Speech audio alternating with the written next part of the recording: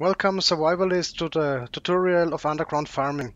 Today I will show you how to plant your crops underground where all the annoying zombies and your PvP enemies cannot easily spot you. Also it gives you a nice uh, protection on the seventh day so just the hordes don't run into your fields and destroy all your crops and uh, your farm blocks and this should protect you a little bit. So I hope this will help you to prevent major damage in your hard work, in your hard farming work. Yeah, let's begin. I was preparing a little bit for you. I have down here a, a room. One of the advantages when you start to grow uh, to build a room in the underground, you can gather all the materials and expand it as you like. The most important to build your crops is to have visit to the uh, a visible view line to the sky, like here. And then you can see you have seven blocks from the center to a side where you can plant your crops.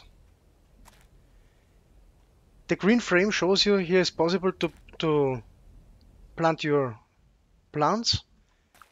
And the eight block is uh, have a red frame and you can see is not possible. So from the center plus 7 blocks gives you a radius from 8 blocks and a square from 15 by 15. But it's not a perfect radius. When you go here, you can see here is not easy, not uh, not possible to plant the crops.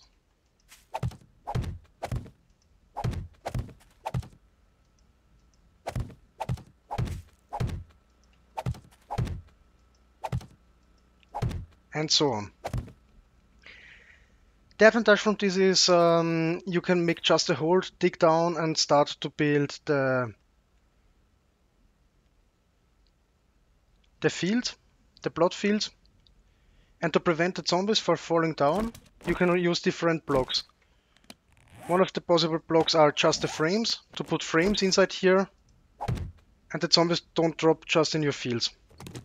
Other possibilities is to use glass, but as you can see here, the transparency from the glass gives you a malus. Normal bulletproof glass plate, which is really expensive in resources, gives you two.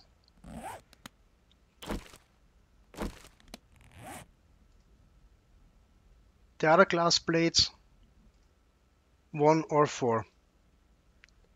This means when you put your glass plates in here, you have a malus. On the distance you can grow. You can see here is green, is green, is red. So this is the maximum radius you can build under the normal grass, uh, under the normal glass. You remove this. You can build here without any problem. I recommend you to use the iron bars, which are really uh, durable in health point. And you can go here to put this inside to prevent the zombies for you to just fall in your fields. In the best case, start uh, with the top and build down and make full all the the light shaft until um, each block is um, until each block is have a steel bar. Another advantage from this is you can scale it really easily to left, right, front, backside. Just what you need is to make more holes.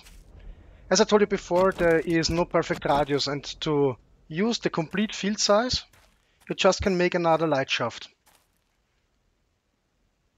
Put the iron fence inside and it's protected. And here you can use the complete perfect field.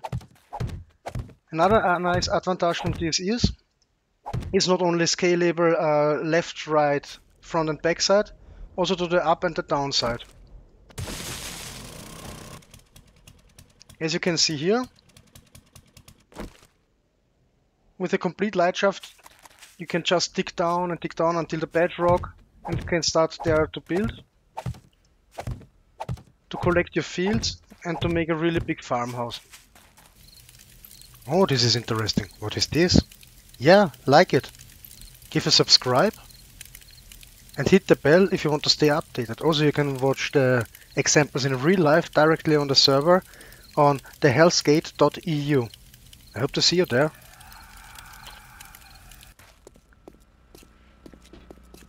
Another big advantage uh, just from hiding than just from hiding it is uh, also in some servers where you have limited the claim blocks. You have maybe just one or two or three claim blocks and you don't want to use all. You can make a greenhouse just uh, to save the space. Here I have my greenhouse over different uh, different layers.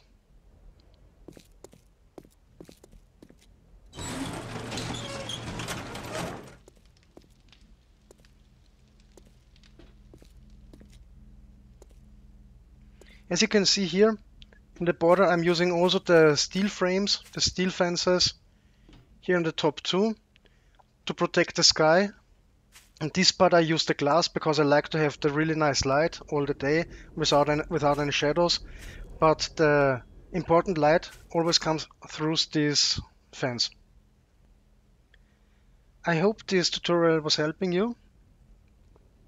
And if you like what you saw, just like, subscribe, share it, and I hope to see you next time. If you have any suggestions or critics, uh, put it in the comments, please.